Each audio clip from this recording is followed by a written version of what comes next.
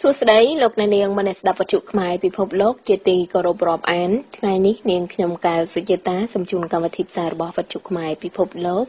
សម្រាប់ថ្ងៃអាទិត្យ900ខែកដិកឆ្នាំរកានៅបស័កពុទ្ធសករាជ2561ត្រូវនៅថ្ងៃទី12ខែវិច្ឆិកាគ្រិស្តសករាជ2017 លោកអ្នកនាងអ្នកស្ដាប់ជាទីមេត្រីក្នុងការផ្សាយរបស់យើងខ្ញុំថ្ងៃនេះលោកអ្នកនាងនឹងបានស្ដាប់ភាគបន្តនៃកិច្ចសន្ទនារបស់លោកកឹមច័ន្ទវងជាមួយលោកប៉ែនសារួមនិងលោកប៉ាសារឿនជជែកគ្នាស្ដីពីធម៌សាមគ្គីតាមដោយនីតិសិភៅអង្គើឈ្លានពានរបស់ជួនមកលើកម្ពុជារៀបរៀងដោយលោកសោមសេកុមារអានជូនស្ដាប់ដោយលោកសានសវិតតមកមាននីតិតន្ត្រីរៀបរៀងដោយអ្នកស្រីសឹមកិតចាពីប្រទេសបារាំងរួចហើយបញ្ចប់កម្មវិធីផ្សាយថ្ងៃនេះដោយនេតិពីនេះពីនោះរៀបរៀងដោយលោកសានសវិត ចាហើយជាបឋមនេះសូមអញ្ជើញលោកអ្នកនាងស្ដាប់ភាពបន្តនៃកិច្ចពិភាក្សារបស់លោកកឹមច័ន្ទវងអគ្គលេខាធិការនៃអង្គការសម្ព័ន្ធដើម្បីកិច្ចព្រមព្រៀងសន្តិភាពទីក្រុងប៉ារីជាមួយលោកប៉ែនសារួមនិងលោកប៉ាសារឿនស្ដីពីទស្សនៈនៃធម៌សាមគ្គី ចាសូមអញ្ជើញស្ដាប់ដូចតទៅ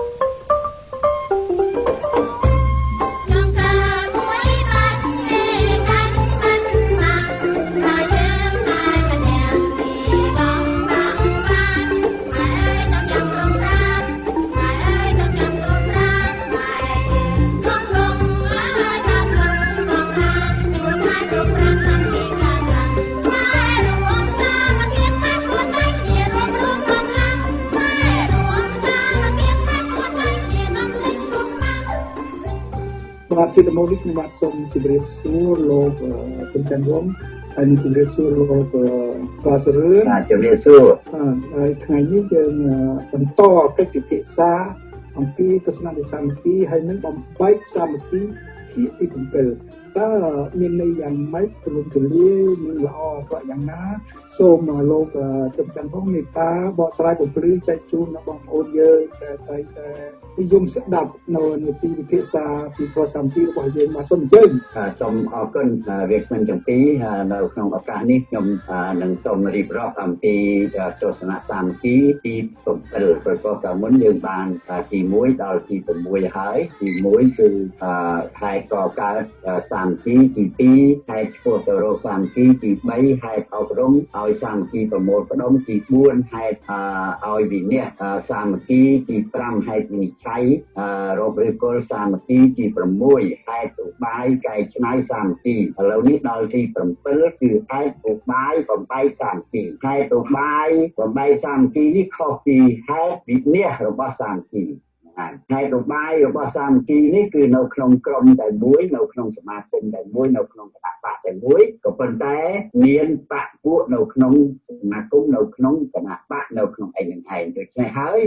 ក្រុមនីមួយនីមួយនឹងធ្វើអីឡើងគឺពង្រីកតែក្នុងក្រុមរបស់ខ្លួនហើយធ្វើអីឡើងគុំក្រងតែនៅក្នុងក្រុមរបស់ខ្លួនទី3គឺប្រតិបត្តិ អ្វីអ្វីគឺនៅតែក្នុងក្រុមរបស់ខ្លួនមិនអោយក្រុមដទៃដឹងដែលនៅក្នុងក្រុមជាមួយគ្នាហើយទី4គឺអប់រំតែនៅក្នុងក្រុមរបស់ខ្លួនបើបាក់ពួកអ្នក នៅក្នុងក្រុមផ្សេងគឺថាអត់ទេហ្នឹងហើយដូច្នេះទី5គឺចាត់ចែងចាត់ចែងគឺធ្វើអ្វីក៏ដោយគឺតែនៅក្នុងក្រុមរបស់ខ្លួននឹងឯងដូច្នេះទីទី1ដល់ទី5នេះគឺថាធ្វើអ្វីក៏ដោយគឺដើម្បីពិបាកខ្លួនអានេះហើយដែលជាហេតុធ្វើឲ្យបែកបាក់សាមគ្គី នៅក្នុងបែកបាក់សាមគ្គីនេះឯងគឺក្រុមនីមួយៗនឹងចេះតែប្រកួតប្រជែងគ្នាហ្នឹងហើយអង្គុយលើកចង្អេលើខ្លួនឯងហ្នឹងហើយតែខាងក្រុមអញនេះធ្វើក្រាន់បើជាងក្រុមនោះក្រុមក្រុមនេះហ្នឹងហើយនៅក្នុងក្រុមជាមួយគ្នានេះប៉ុន្តែចេះតែចេះតែគិតអញ្ចឹងហ្នឹងហើយដែលកណាបើយើងឃើញអញ្ចឹងហើយបាននិយាយថា នៅក្រុមនឹងឯងគឺបែកបាក់សាមគ្គីហើយគឺថាធ្វើអ្វីចេះតែគិតតែខ្លួនឯងខាងក្រុមខ្លួនអញខាងលេខាធិការនឹងធ្វើក្រនបើហកក្រុមខាងដែលប្រធាននៅក្រនបើហើយក្រុមខាងគណៈកម្មការនយោបាយនៅក្រនបើដល់អញ្ចឹងទៅវាអត់ចូលគ្នាគឺចាំម្នាក់ម្នាក់វាចេះតែគិតតែរៀងរៀងខ្លួនដល់កណាគិតតែរៀងរៀងខ្លួនអញ្ចឹងអានឹងគឺថានៅក្នុងថ្ងៃណាមួយនឹងបែកបាក់សាមគ្គីហើយហើយលើកចង្អេតែខ្លួនឯងដូច្នេះខ្ញុំគ្រាន់តែអធិប្បាយបន្តិចហើយសូមប្រគល់នេះឲ្យលោកតែងសរួមហើយដើម្បី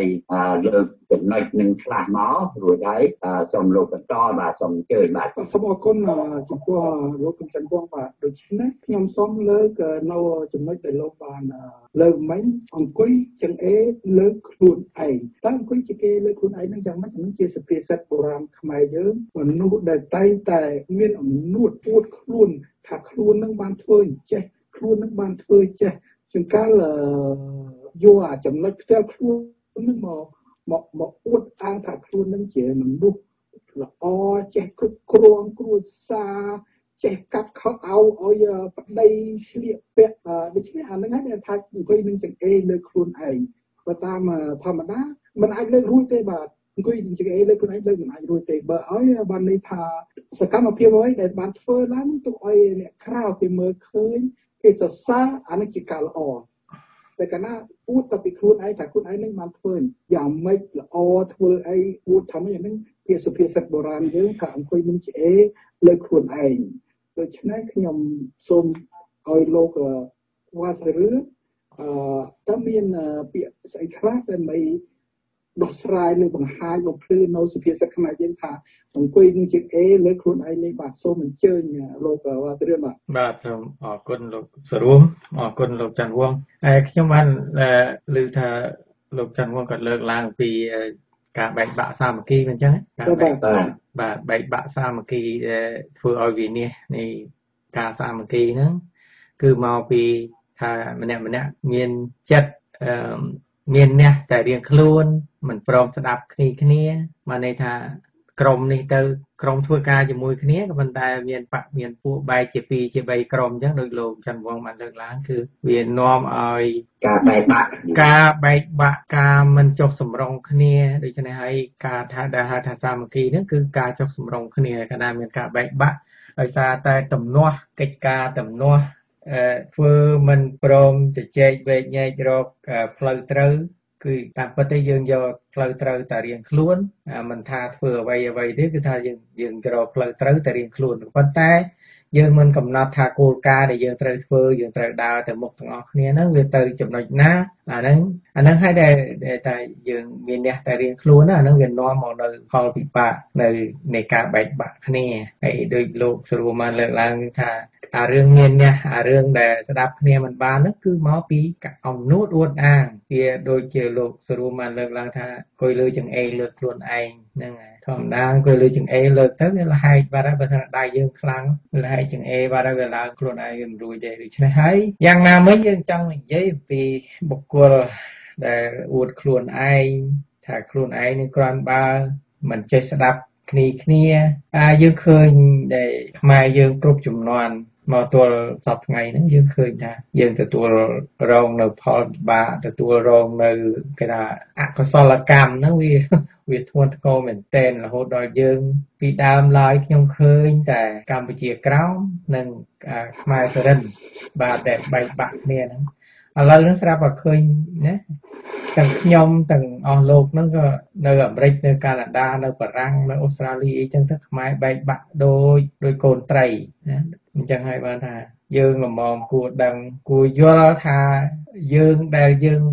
មិនច្បាស់លាស់ហើយយើងចេះតែច្បាស់លាស់ថាអញត្រូវហើយណាអញមិនខុសទេក្រុមអញហ្នឹងបុគ្គលដែលអញស្រឡាញ់ហ្នឹងគឺត្រូវហើយអាហ្នឹង អានឹងហើយដែលវានាំមកនៅក្តីមហន្តរាយភយន្តរាយដែលដែលកើតឡើងកន្លងមកនោះគឺដោយសារតែរឿងហ្នឹងគឺជាអ្នកដឹកនាំតួឯក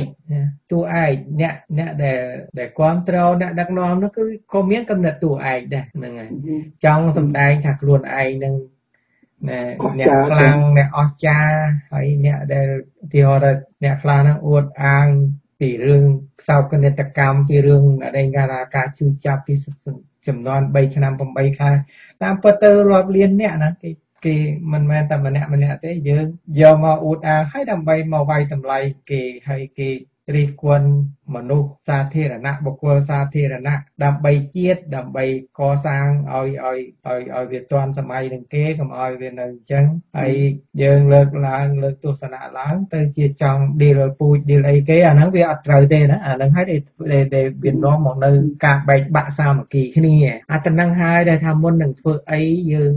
យើងគួរយើងគួរពិចារណាមុននឹងនិយាយ វាកុំឲ្យវានាំមកនៅផលប៉ះពាល់ដល់អារម្មណ៍គេឯងព្រោះថារឿងបើរឿងបាទសូមសូមជើញលោកបាទបុគ្គសម្រាប់សាសនាទៅបុគ្គលសាធារណៈយើងអាចរិះគន់បានបុគ្គលសាធារណៈ អ្នកឯងមើលឃើញបុគ្គលនឹងថាជាបុគ្គលល្អដាច់លេខនៅក្នុងនោះអ្នកឯងមើលឃើញតែឯងខ្ញុំមិននិយាយចំពោះបុគ្គលណាមួយទេខ្ញុំថាមើលឃើញចាស់ចំពោះលោកអ្នកដែលមើលឃើញថាបុគ្គលនឹងជាបុគ្គលអស្ចារ្យតែចំណុចភ្នែកអ្នកដទៃនោះគេមិនអាចមើលឃើញដូចលោកទេអឺដែលដែលថាបុគ្គលដ៏អស្ចារ្យម្នាក់នឹងគេរិះគន់មិនបានគេថាមិនបាន ថាខ្លួនឯងនឹងស្គាល់តាំងពីជំនាន់ណាមកគឺថាគេស្គាល់ដូចគ្នាគេមើលឃើញគ្នាលោកគឺមើលឃើញថារបស់នេះជាដុំពេជ្រតែចំណែកគេផ្សេងគេមើលឃើញថាជាដុំថ្មជាដុំថ្មរបស់នេះបាទ ដូច្នេះបាទសូមសូមពីទៅគឺសូមបន្ថែមប៉ុណ្ណឹងសូមជើញលោកបន្តពេលនិយាយទៅទៀតបាទបាទអរគុណលោកសរួងហើយខ្ញុំក៏យល់អញ្ចឹងដែរគឺថាកាលណាយើងមានទស្សនៈខុសគ្នាយើងត្រូវយើងត្រូវតែទទួលយកការពិតហ្នឹងហើយវាមានផលល្អសម្រាប់សម្រាប់ប្រទេសជាតិយើងជាពិសេសគឺយើងរិះគន់អ្នកដឹកនាំដែលតែគាត់ជាជាតំណាងឲ្យយើងទាំងអស់គ្នាហ្នឹងគាត់ដើរផ្លូវខុស យើងដឹងហើយយើងត្រឹងថាគ្មានអ្នកណាកើតមក perfect ល្អឥតខ្ចោះនោះទេក៏ប៉ុន្តែបើយើងចង់ឲ្យល្អយើងដូចកបិតចឹងយើងចង់សំលៀងឲ្យមុតនេះយើងចង់ឲ្យវាមុតហ្នឹងយើងទៅអាសាសំលៀងវាហើយអាសាប្រើបើមិនចឹងទេវាច្រេះវាវាវាខ្ញាចាប់អញ្ចឹងហើយបានថាការរិះគន់បុគ្គលសាធារណៈហ្នឹងវាសំខាន់ណាស់ហើយយើងគួរដឹងគួរយល់មកនៅស្រុកគេហើយយើងគួរយល់ថានេះស្រុក អាមេរិកកាណាដាអូស្ត្រាលីបារាំងនោះគឺលទ្ធិប្រជាធិបតេយ្យមិនមែនបុគ្គលផ្ដាច់ការទេហើយបើបុគ្គលផ្ដាច់ការនោះវាវាវាដូចសពថ្ងៃអញ្ចឹងបុគ្គលផ្ដាច់ការនោះលទ្ធិប្រជាធិបតេយ្យកម្ពុជាសពថ្ងៃហ្នឹងគឺមានបុគ្គលផ្ដាច់ការដឹកនាំហើយយើងស្អប់ដែរអញ្ចឹងហើយបែរតែគ្នាយើងរីគន់ទៅវាទៅចង់ណែមកជេឌីលពូជអីអាហ្នឹងវាអត់ត្រូវវាវាអត់ត្រូវទេណាយើងយើងគូអាប់ដេត ខ្ញុំយល់ហើយខ្ញុំសង្វេគណាស់បងប្អូនខ្មែរជាពិសេសបងប្អូនដែលចាក់ផ្លាត់មកដោយយើងនៅក្រៅប្រទេសហ្នឹងអ្នកខ្លះហ្នឹងផ្ទុយទៅវិញហ្នឹងទៅជាអអអ៊ំពតអអ៊ំសែនហ្នឹងវិញថាបើកុំបានអ្នកទាំងអស់គ្នាហ្នឹងទេកុំអីហ្នឹងគាត់មិនបានមកស្គាល់អាមេរិកកាណាដាបារាំងហ្នឹងទេខ្ញុំថាអោខ្មែរខ្មែរមិនក៏ទៅជាអញ្ចឹងទៅវិញចឹងហើយខ្ញុំចង់សនំពរបែកមករឿងយើងវិញថាឲ្យ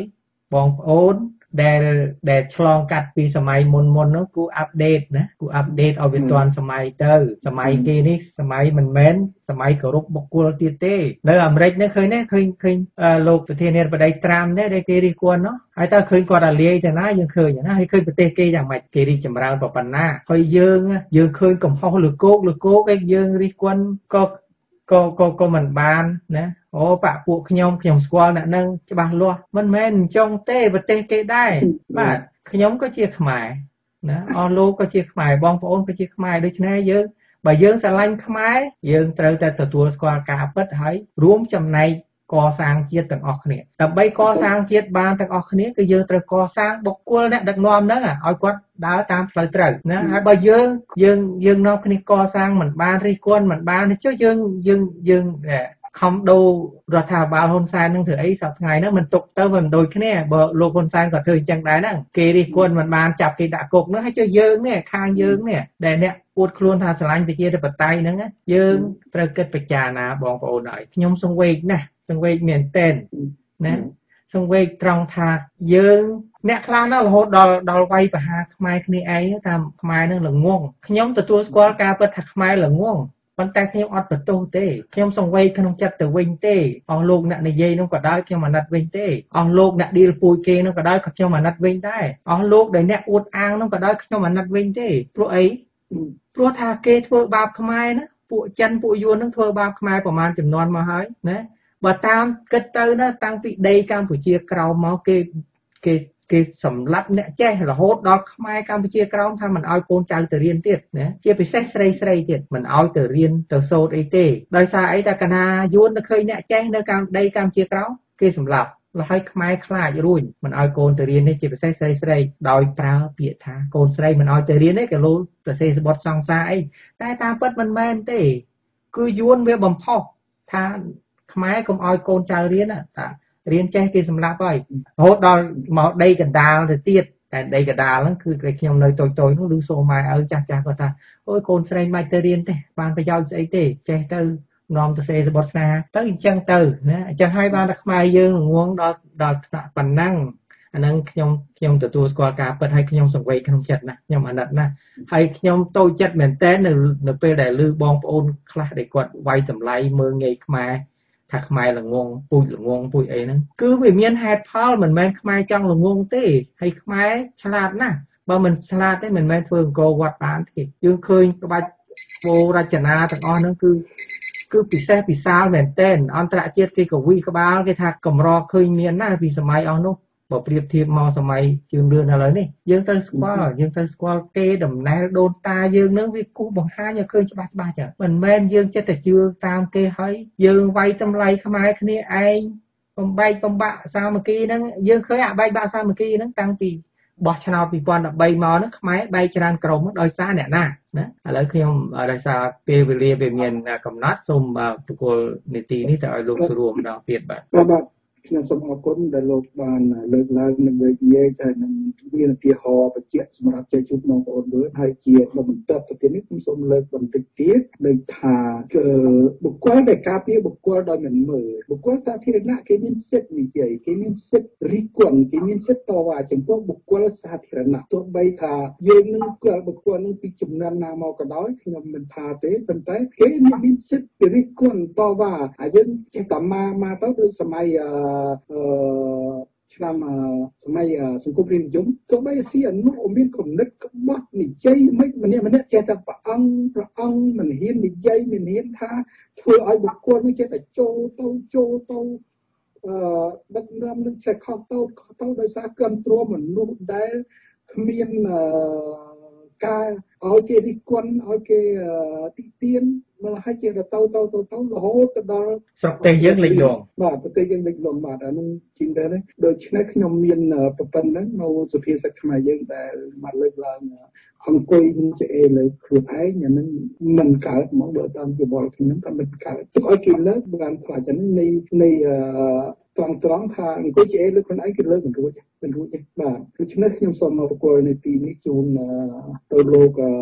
ខិនចាន់រងតើគាត់មាននៅពាក្យពេចន៍ខ្លះដែលដើម្បីជួយវិញ្ញាណនៅពាក្យសុភាសិតថាអង្គុយជាលើខ្លួនឯងនេះបាទសូមអញ្ជើញលោកខិនចាន់រងបាទចំពោះអង្គុយលើជាលើខ្លួនឯងនឹងឯងអានឹងតែដូចជាលោកមានប្រសាសន៍អញ្ចឹងលោកទីមានប្រសាសន៍អញ្ចឹងគឺថានៅក្នុងក្រុមតែមួយក៏ទៅជាបាក់ពួកទី3អីចឹងទៅប្រធាននឹងមានអ្នកសមាជិកនឹងគ្រប់គ្រងទៅអនុប្រធាននឹងមានសមាជិកគ្រប់គ្រងទៅអលេខាធិការនឹងគ្រប់គ្រងទៅគាត់ថាធ្វើអីក៏ដោយគឺថាប្រើល្បិចនេះអាល្បិចហ្នឹងគឺថាទី1ពង្រីកទី2ឃុំក្រងទី3ប្រតិបត្តិទី4អប់រំហើយទី5ចាក់ចែងហើយការធ្វើទាំងអស់ហ្នឹងសម្រាប់តែក្រុមរបស់ខ្លួនតាមពិតខ្លួននៅក្នុងក្រុមតែមួយទេមិនគិតពីគណៈកម្មការនយោបាយគេ ជំនុំគ្នាធ្វើយ៉ាងម៉េចអីណាឲ្យមានមូលម៉ាត់តែមួយប៉ុន្តែខ្លួនឯងនេះចេះខាងនៅធ្វើមិនកើតទេអ្នកធ្វើមិនកើតទេអាហ្នឹងហើយដែលជាបញ្ហាមួយធ្វើឲ្យបែកបាក់សាមគ្គីហ្នឹងហើយដូច្នេះហើយអាហ្នឹងក៏ ជាកិច្ចការមួយដែលយើងត្រូវគិតគូរត្រូវធ្វើគឺថាធ្វើអីកុំឲ្យធ្វើដោយចិត្តឯងដោយលោកមានប្រសាសន៍អញ្ចឹងកុំលើកចំអេលើកខ្លួនឯងថាក្រុមអញនឹងគ្រាន់បើក្រុមនេះមិនកើតទេអានឹងហើយដែលជាផលវិបាកដែលធ្វើឲ្យបែកបាក់សាមគ្គីបន្តទៅទៀតគឺថាទី8គឺហេតុពង្រឹងសាមគ្គីប៉ុន្តែដោយសារពេលវេលាមានកម្រិតសូមឆ្លេះតែប៉ុណ្ណេះសិនហើយនឹងជួបគ្នានៅពេលក្រោយសូមជម្រាបសួរសូមអរគុណបាទបាទសូមជម្រាបលាសូមសូមសូ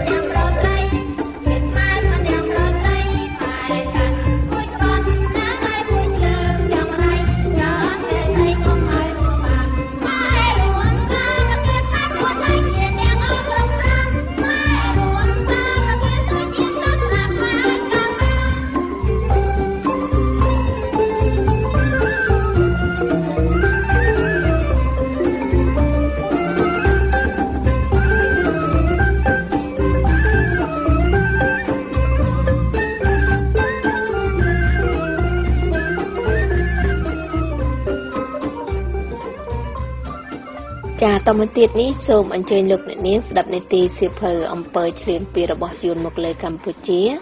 រៀបរៀងដោយលោកសោមសេកុមារបន្តអានជូនស្ដាប់ដោយលោកសានសវិតចាសូមស្ដាប់ដោយមេត្រីភាពទី16មីនា1970ដោយពុំបានចម្លើយពីពួកយួនកុម្មុយនីស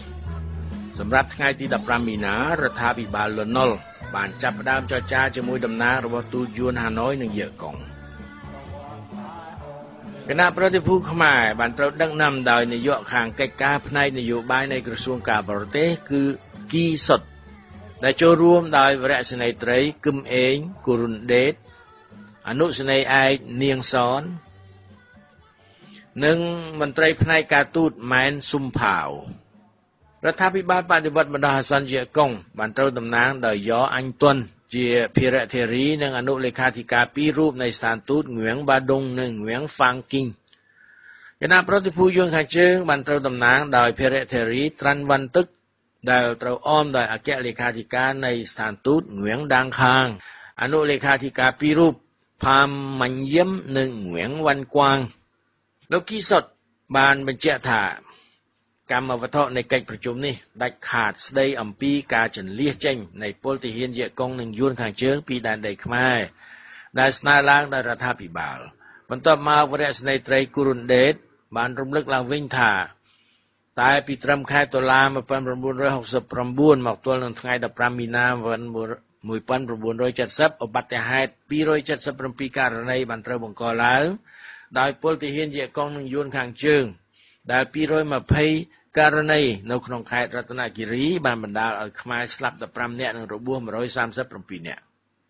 ក្នុងពេលថ្មីថ្មីនេះទៀតអាជ្ញាធរតាមព្រំដែនបានឲ្យដំណឹងពីការតាំងទីនៃពលទាហានយេកុងយួនខាងជើងយ៉ាងសន្ធឹកសន្ធាប់ព្រមទាំងឃ្លាំងតម្កល់នៅគ្រឿងអាវុធស្បៀងអាហារនិងក្របរំសេវ បន្ទាប់ពីសំណើរកការដកថយនៃពលទាហានទាំងនេះដែលស្នើឡើងដោយរដ្ឋាភិបាលអាជ្ញាធរតាមព្រំដែនរបស់យើងបានឲ្យសញ្ញាថានៅព្រឹកព្រលឹមថ្ងៃទី15មីនា1970ពុំមានវិធានការណាមួយបានត្រូវចាត់ចែងចំពោះបញ្ហានោះដោយភាគីយួនទាំងពីរទេ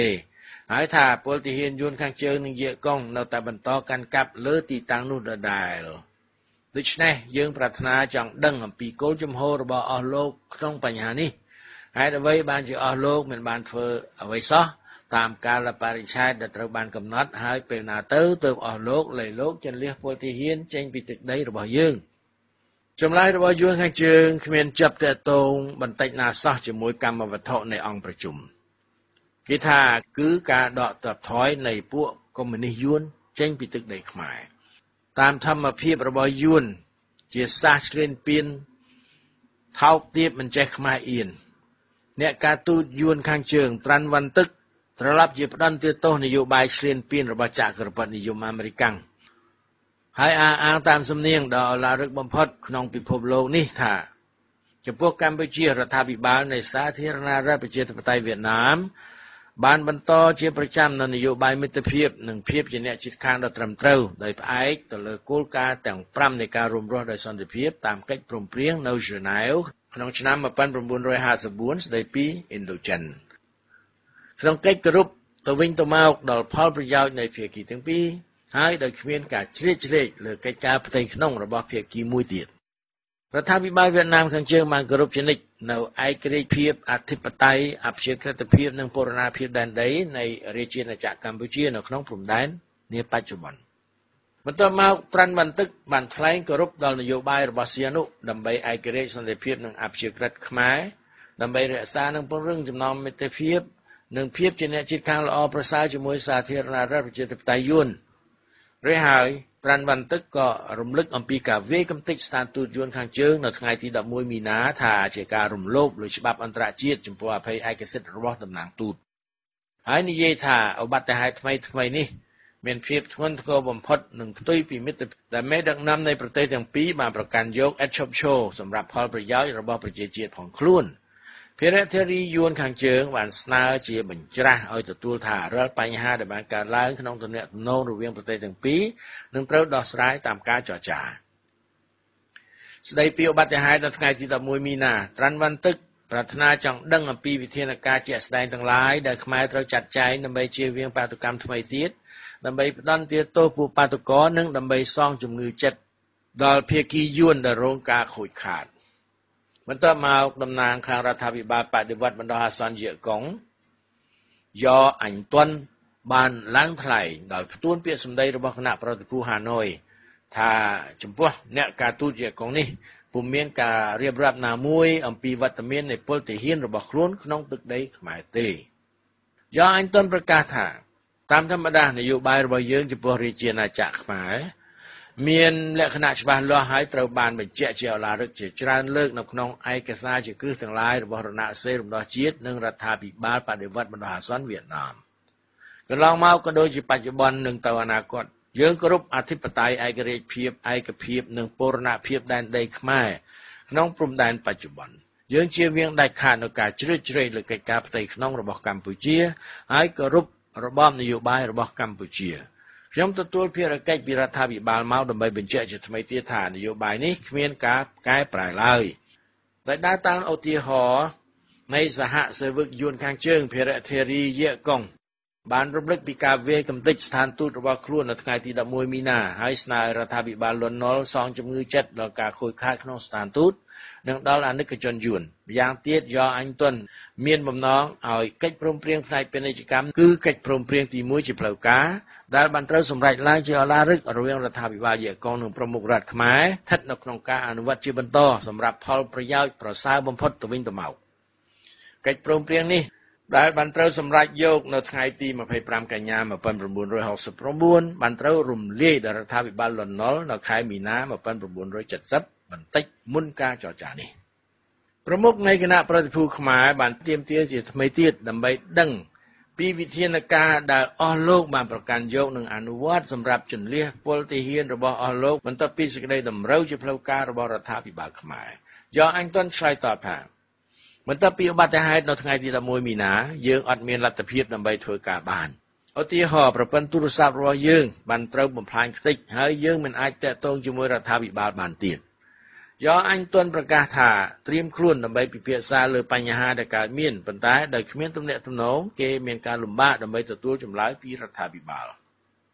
បន្ទាប់ពីការសម្រាប់អស់រយៈពេល30នាទីកិច្ចចរចាបានត្រូវចាប់បន្តឡើងវិញហើយលោកគីសុត ប្រមុខនៃគណៈប្រតិភូខ្មែរបានត្រឡប់មករកភាពចាំបាច់ដែលយួនកុម្មុយនីសត្រូវអនុវត្តតាមសំណើពីរដ្ឋាភិបាលខ្មែរស្ដីពីការដកថយនៃពលទាហានយួនហាណូយនិងយេកុងពីដែនដីខ្មែរដែលហេតុថាភាគីយួនទាំងពីរនៅតែរំលឹកឥតឈប់ឈរអំពីការធានាក្នុងកិច្ចគោរពដល់អធិបតេយ្យនិងបូរណភាពដែនដីខ្មែរក្នុងកម្រិតព្រំដែននាបច្ចុប្បន្ន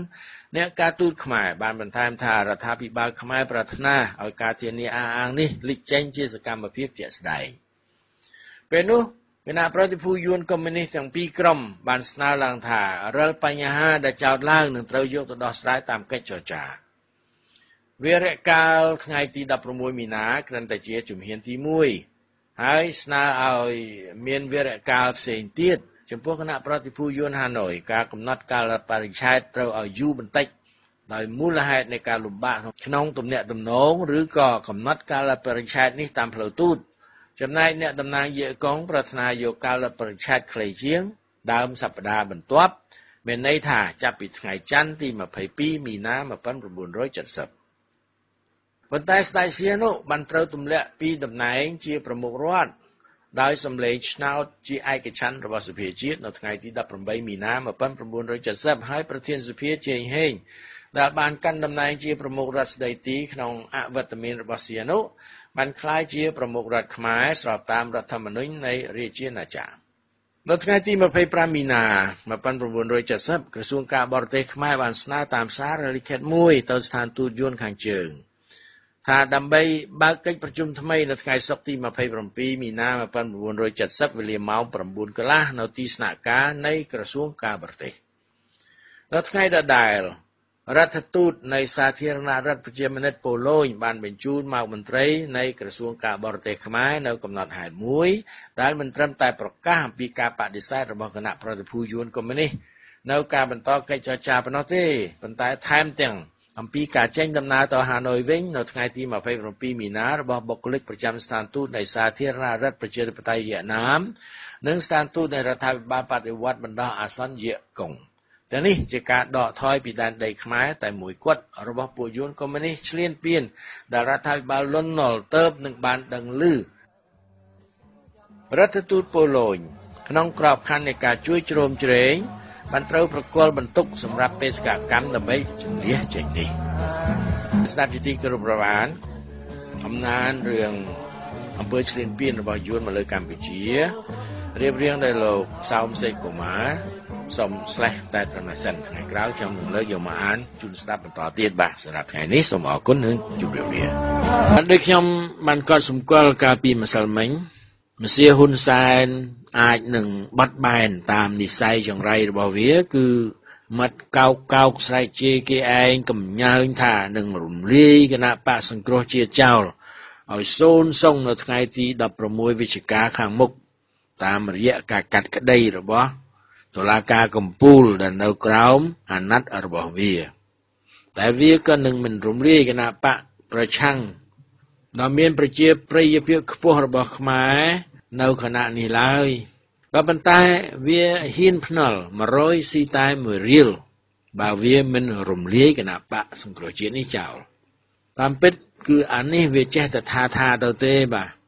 ដោយវាត្រូវការបំបាក់ស្មារតីរបស់សមាជិកគណៈបកសង្គ្រោះជាតិកំញើញឲ្យសមាជិកសង្គ្រោះជាតិជាពិសេសតំណាងរាស្ត្រនិងមេឃុំចៅសង្កាត់ រួមទាំងសមាជិកក្រុមប្រឹក្សាឃុំសង្កាត់របស់គណៈបកសង្គ្រោះជាតិឲ្យរត់ចោលជួរទៅចូលខាងវាឲ្យច្រើន ជាទីបំផុតមុនការបោះឆ្នោតនៅឆ្នាំ2018បានមានមិត្តអ្នកស្ដាប់បានទូរស័ព្ទមកប្រាប់ខ្ញុំថា គេសុំភ្នាល់នឹងអាខ្វាង ថាវានឹងមិនហ៊ានរំលាយគណៈបកសង្គ្រោះជាតិចោលឡើយលោកពិសិដ្ឋពីរដ្ឋ Texas បានសុំភ្នាល់1000ដុល្លារសុំដាក់1000ដុល្លាររីឯលោកជុំគិរីពី Pennsylvania ក៏សុំភ្នាល់500ដុល្លារផងដែរតើអាខ្វាងព្រមទទួលភ្នាល់ទេដូច្នេះបើហ៊ុនខ្វាងចាញ់អាមួយនេះត្រូវសងគេច្រើនបង្គួរដែរបាទ100យកតែ1រៀលនោះបើអាខ្វាងចាញ់វាត្រូវបង់ឲ្យលោកពិសិដ្ឋ100ប៉ាន់ បាទគឺ100,000ដុល្លារហើយបង់ឲ្យលោកជុំគិរី50ប៉ាន់គឺ50000ដុល្លារបាទតែយ៉ាងណាក៏ដោយមកមីសក្លៀករបស់វាមិនជ្រុះអស់ទេលុយប៉ុណ្ណឹងនោះ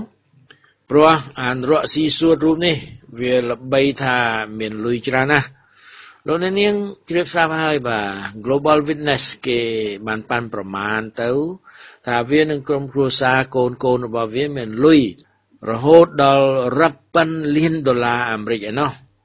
ជាលុយដែលពួកវាប្រើអំណាចផ្ដាច់ការរកស៊ីទាំងបំពេញច្បាប់ផងស្របច្បាប់ផងហើយក៏បានមកពីការបំផ្លិចបំផ្លាញប្លន់យក ធនធានធម្មជាតិរបស់ប្រទេស និងពីការស៊ីសំណូកសោកប៉ាន់ផ្សេងផ្សេងទៀតជាពិសេសគឺប្រើអំណាចជានាយករដ្ឋមន្ត្រីរបស់វានឹងបើករោងចក្ររោងចោលហ្នឹងបាទលោកអ្នកនាងក៏ប្រហែលជាបានឮគេនិយាយស្ទើរតែរលមាត់ទៅហើយអំពីទ្រព្យសម្បត្តិជាពិសេសលុយកខ្វក់ដល់អាខ្វាងវាបានឲ្យកូនវាអាហ៊ុនម៉ាណែតយកទៅផ្ញើនៅបរទេស មានការទិញអចលនវត្ថុនៅបារាំងនៅអូស្ត្រាលីនៅអាមេរិកឬក៏យកទៅដាក់បង់នៅ Swiss នៅគីវេតនៅឌូបៃអីហ្នឹង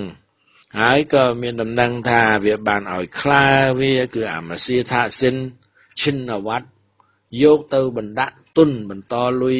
ក្នុងអណ្ដូងរ៉ែមាសនៅអ៊ូហ្គាន់ដាអណ្ដូងរ៉ែពេជ្រនៅប្រទេសអាហ្វ្រិកផ្សេងផ្សេងទៀតរហូតដល់មានពេលមួយនោះ ឮថាទោះចិត្តគ្នានឹងអាចិនខេថាក់ស៊ីនព្រោះថាក់ស៊ីនរកស៊ីទៅចេះតែត្រូវប៉ាន់តែប្រាក់ហ៊ុនរបស់អាខ្វាងឮតែថាខាតទុនទៅវិញអរលោកនាងជាទីមេត្រីថ្ងៃនេះខ្ញុំសូមតែប៉ុណ្ណេះទៅចុះចាំថ្ងៃក្រោយ មានពេលទំនេរខ្ញុំនឹងព្យាយាម ពីនេះពីនោះជូនលោកនាងស្ដាប់បាទតែសប្តាហ៍ក្រោយនេះ ខ្ញុំត្រូវធ្វើដំណើរទៅកាន់ទីឆ្ងាយបន្តិចអាចនឹងរកពេលឬសេវាអ៊ីនធឺណិតមកធ្វើការផ្សព្វផ្សាយមិនបាន